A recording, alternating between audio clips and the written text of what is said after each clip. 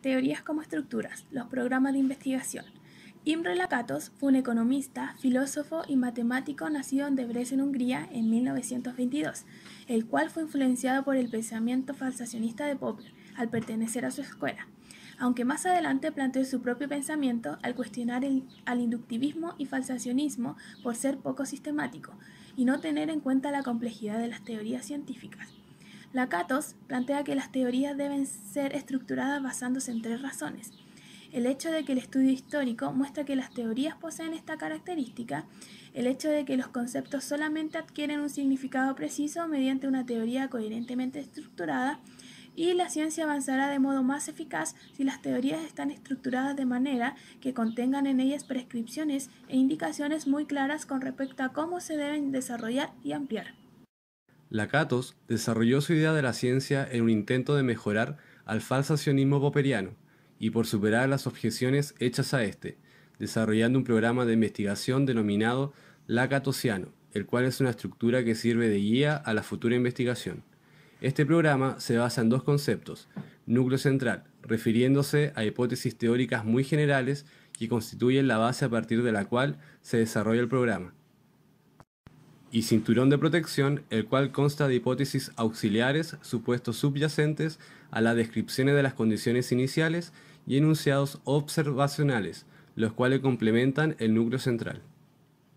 Además, este programa incluye la heurística negativa, que conlleva la estipulación de que no se pueden rechazar ni modificar los supuestos básicos subyacentes al programa, es decir, su núcleo central y la heurística positiva, que está compuesta por líneas maestras que indican cómo se puede desarrollar el programa de investigación. Dicho desarrollo conllevará a completar el núcleo central con supuestos adicionales en un intento de explicar fenómenos previamente conocidos y predecir fenómenos nuevos. Para ejemplificar lo anterior, el núcleo central de la astronomía copernicana lo constituirían los supuestos de que la Tierra y los planetas giran alrededor de un Sol inmóvil y de que la Tierra gira sobre su eje una vez al día mientras que su cinturón de protección se basaría en la adición de números de epiciclos a la órbita planetaria, lo cual explicaría su carácter elíptico. Además, el cambio en el cálculo de distancia de la Tierra a las estrellas. Por otro lado, la heurística positiva de este ejemplo correspondería a la necesidad de incluir técnicas matemáticas adecuadas para manipular los movimientos epicíclicos, mejores técnicas de observación astronómica y teorías adecuadas que rigieran la utilización de los diversos instrumentos, lo que incluye el desarrollo de una óptica y una mecánica adecuada. En el caso de la heurística negativa, esta se basaría en el hecho de no plantear que los planetas orbitan alrededor del Sol. Un programa de investigación bien definido y que sea catalogado como científico debe tener coherencia y permitir el descubrimiento de nuevos fenómenos.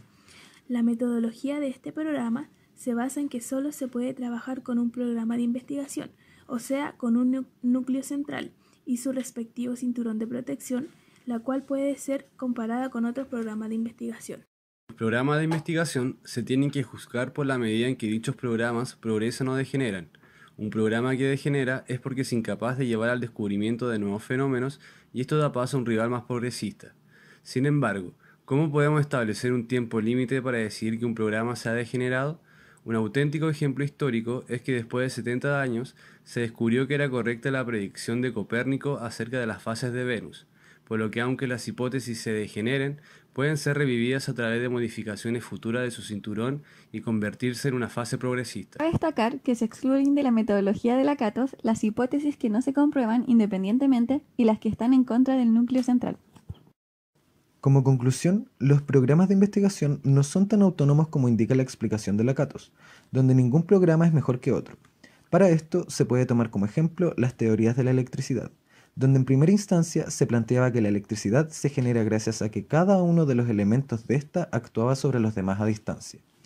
mientras que posteriormente Faraday señaló que estos fenómenos eran explicados por las acciones que se producen en el medio que rodea a los elementos eléctricos.